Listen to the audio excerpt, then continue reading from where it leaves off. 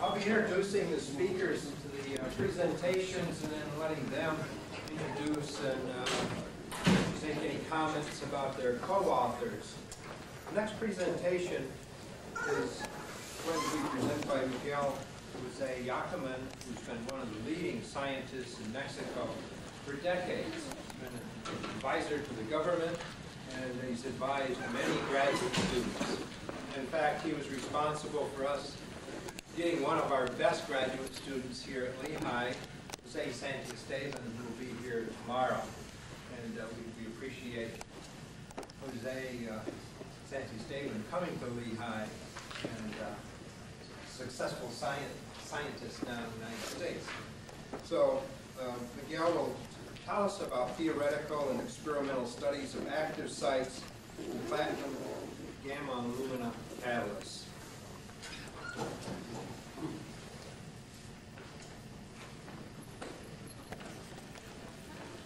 First, I would like to mention that it's uh, a real honor for, for me to be in this symposium honoring Kamil because he has been a, a great friend for many years and, uh, and I met him first at the ACS symposium in Las Vegas in 80, 80 or 82 and he made comments about our work that were very you know, important in the developing of the techniques. So thank you very much, Kamil, and it has been an honor to be your friend for this so many years. Now, as Rick said, I, I think uh, we have to acknowledge the group, and this is the people that are working with me in the catalysis of the part of the University of Mexico and part of the Nuclear Institute of Mexico, where I am now director. And all these very bright young guys that uh, are forming the group. Now, what I want to talk today is what I've been working for 25 years is nanoparticles. And as uh, uh, you well know, nanoparticles, they contain very few atoms. So they don't really uh, can be considered molecules. They, but also they cannot be considered a, a, a, a bulk. So they are between, between two. Now, um, Boudart made in 85 a very interesting distinction. He classified the nanoparticles in uh, three groups. Uh, he said particles uh, above 50 angstroms. Then they expose complete crystal phases with distribution independent of sizes. Then he talked about uh, metal particles between 10 and 15 angstroms and then they changed in particle size and changed in catalytic activity. And then he, he spoke about particles of less than 10 angstroms. I think, uh, uh, and then those are the clusters that Gabor was talking about. I guess in modern times and in the modern language, what Boudart was saying is that uh, there were quantum size effects present in this category and also in this one. And in this category, there were not quantum size effects. So he was talking really about the transition between quantum and non-quantum behavior. And I think this is now very clear and in the nanotechnology field, which is one, one of the hot fields, and of course for catalysis is going to be very important. Uh, when we go to the macroscopic to the microscopic, we hit this region in which we have these colloidal uh, systems, uh, which can be characterized by a, size, which in this case goes to about 10 angstroms, and what is called the uh, Kubo energy gap, which is uh, the distance between occupied and occupied states. And then you can go from the mesoscopic to the microscopic. And this will be the, the one, one category of the Boudart clusters, and, and this will be the other one. And really what is happening is that as you divide metals, and you make it smaller, then the quantum effects start to show up. And then from the microscopic pictures in which you have the Fermi level and the occupied states and so on in the metal, then you, you reach this, this state in which you have a metallic cluster, and this state in which you have an insulating cluster, and then an atom or, or a molecule. And I think what we have learned in the last few years is that the, in this state, the clusters really uh, behave more like molecules than, than, the, than the bulk solid. And then you can control the conductivity of the cluster and also, you know, the electronic properties, just changing the size and controlling the size. Okay. Now, uh, electron microscopy has been a tremendously important uh, technique to study uh, this, this range of clusters, and I, I want to say that now electron microscopy will be focused to really study these things. Uh, and there has been many, many improvements. I, I just want to mention some of the techniques which are going to make a tremendous impact in catalysis in the next few years. And I think I've all mentioned some of them.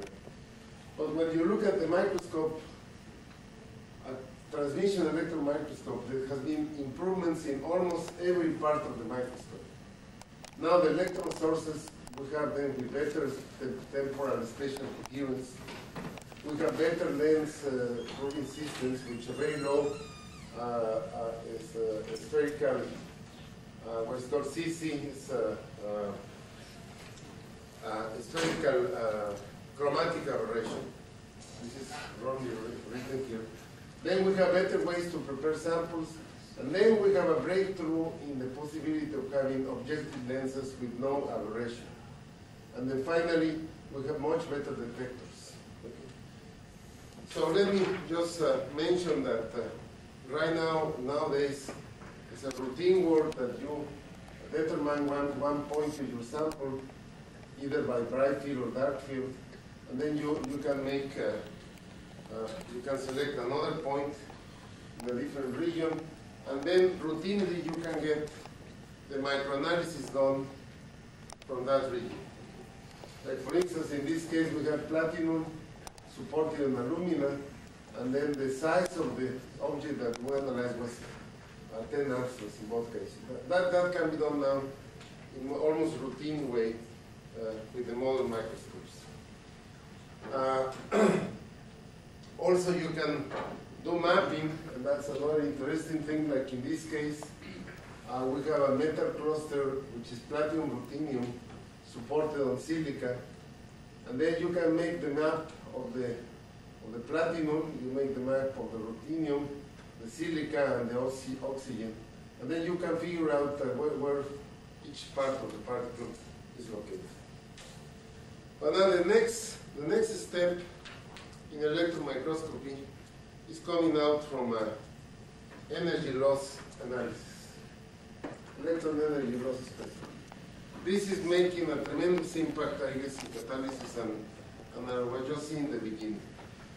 By doing energy loss, we can go the whole spectrum from the valence uh, losses, and then we, we study the valence states on the optical properties, to the high losses, to the core losses, and then we can study the bonding, the oxidation states, and the concentration. Uh, uh, as you know, uh, in the case of the X-rays and the synchrotron, the synchrotron radiation, the EXAFS and the XANES uh, have made a tremendous impact on the field of catalysis. I think a lot has been learned about the samples uh, in this way. Now, you can do exactly the same with electrons in techniques which are called ELNES and EXELFS, which are just looking at the structure near the, absorption edge, exactly the same with an X-ray. And you can get exactly the same information that you get in the X-rays.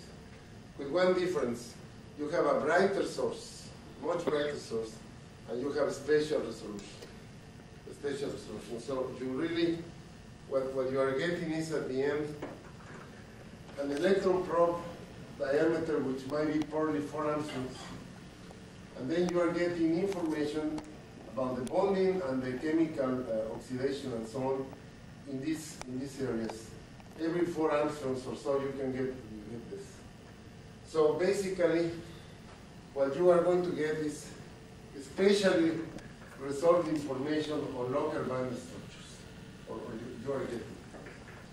Now let me just show you an example of these applications. We have been studying uh, uh, self-assembly of gold particles uh, covered with a thiol molecule, you know, to, to passivate the molecule.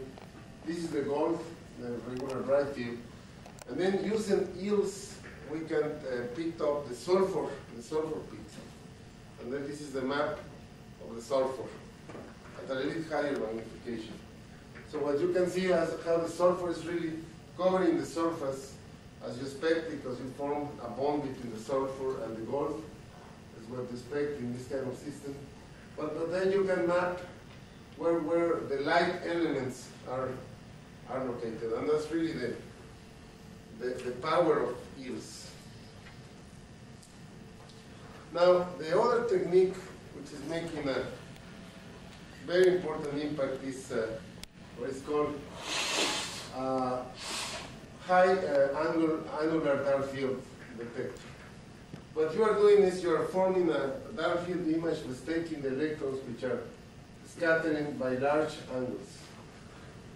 And that means that you are taking the total incoherent part of the signal.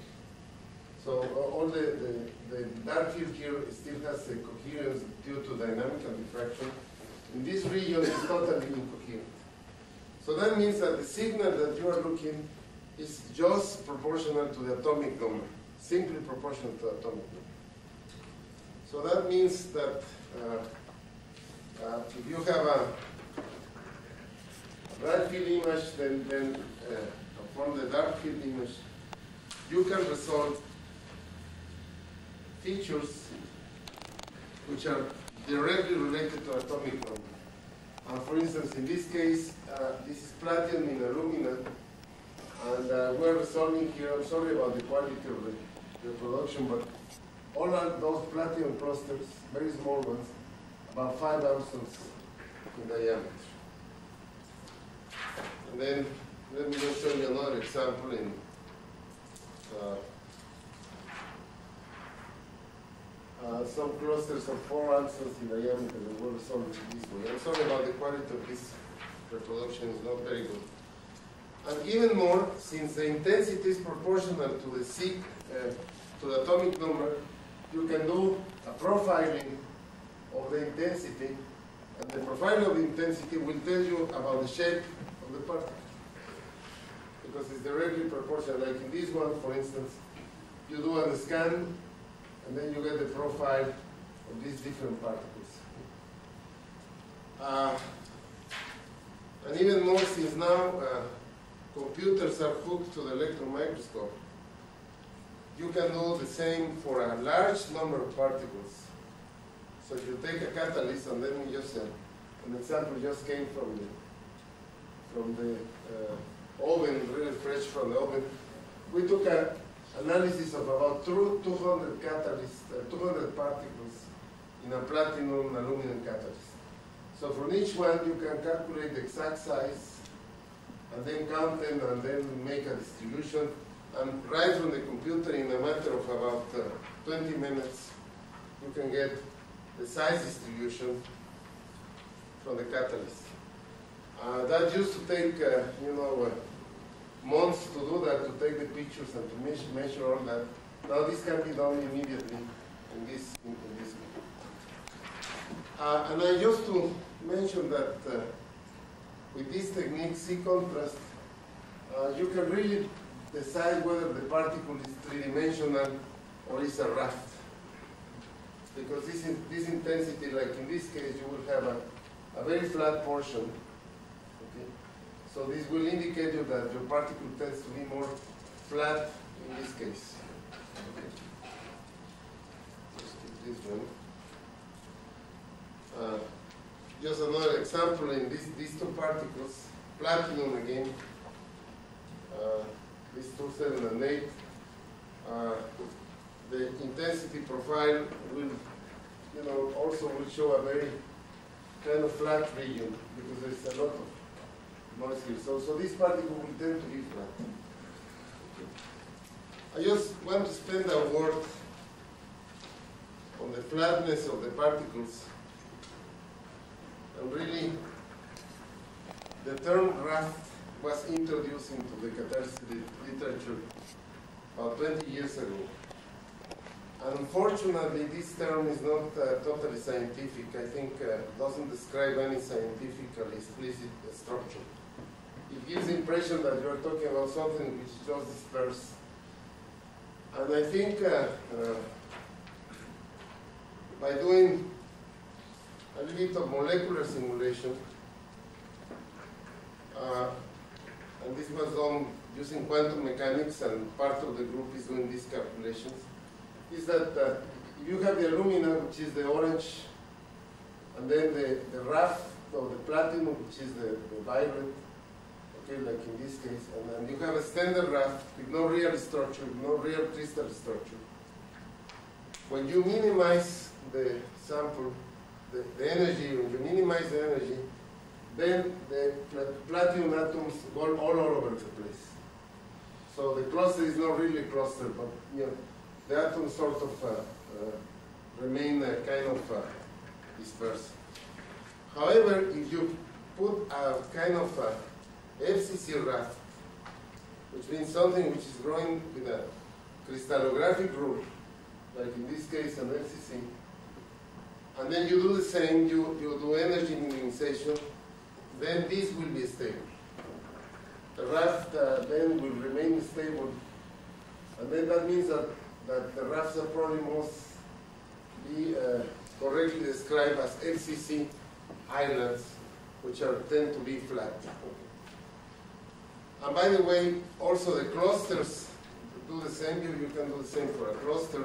For instance, decahedral cluster like this one, they, they are also stable. They are also stable, so it's, uh, uh, and then they can be there. Now, what I want to mention is now high resolution, just present a few results in high resolution. And uh, high resolution electron microscopy has been complicated because of the dynamical scattering, because you are projecting in two dimensions the specimen, and because of the lens aberration.